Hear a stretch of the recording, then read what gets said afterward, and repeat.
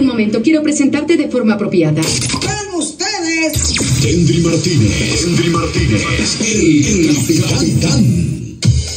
Nosotros hemos hablado que este año 2023 teníamos o tendríamos muchos eventos masivos, porque las personas, luego de 2021-2022, encerrados, gran parte, eh, cuando escuchan que se estará efectuando un concierto, se desbordan comprando boletas, haciendo filas online, en línea.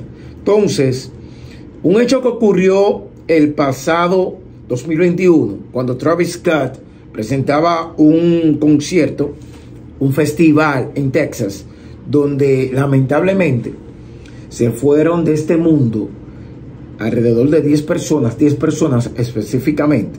El rapero Travis Scott hoy sale libre de cargos penales por esas 10 personas que se fueron a destiempo, que perdieron su vida en ese show en Texas. Las 10 personas que se fueron de este mundo asfixiadas, según las investigaciones forenses, entre ellas un, menor de 9 años.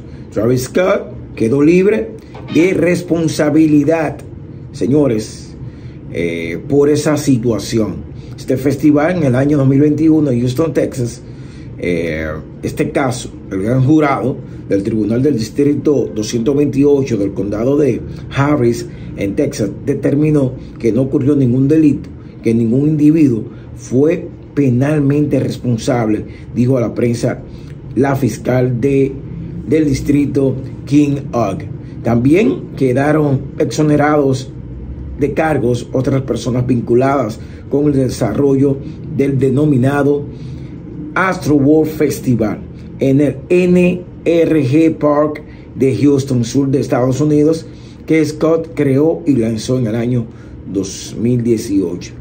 Ahí estuvieron más de 50 mil personas. Es lamentable escuchar esto, que no existe ningún tipo de culpabilidad, que no hay ningún tipo de responsables eh, por esa avalancha humana, por esa situación que fue creada por humanos, claro que sí, por el no comportamiento en un festival hace una avalancha, pero también la capacidad de personas, 50 eh, mil, deja mucho de que desear. Lamentable que un infante, 9 años, eh, se fue a destiempo y lamentable escuchar, no quiero no quiero tampoco malinterpretar el comentario, pero cuando dicen que no hay nadie responsable y se fueron 10 personas, ya ustedes saben lo que tienen que hacer en cada festival, en cada evento. Es lamentable. Eso es calle.